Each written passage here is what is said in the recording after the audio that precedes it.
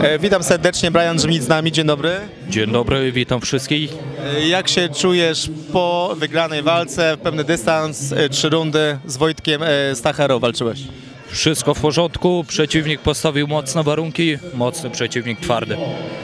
Proszę powiedzieć, na ile wcześniej dowiedziałeś się, że akurat będziesz miał tą walkę, w związku z czym ile było czasu na przygotowanie?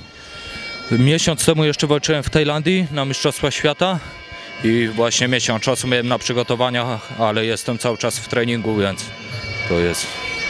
Pytanie takie, e, m, czy znałeś już wcześniej swojego przeciwnika Wojtka Stachurę?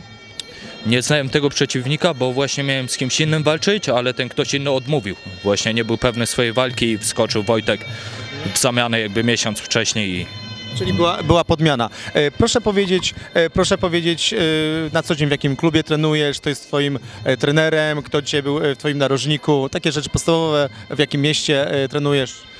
Y, Mieszkam w Wiedniu, y, trenuję u Frankiego Flash Pawlaka w Datry Gymie w pierwszym becyrku.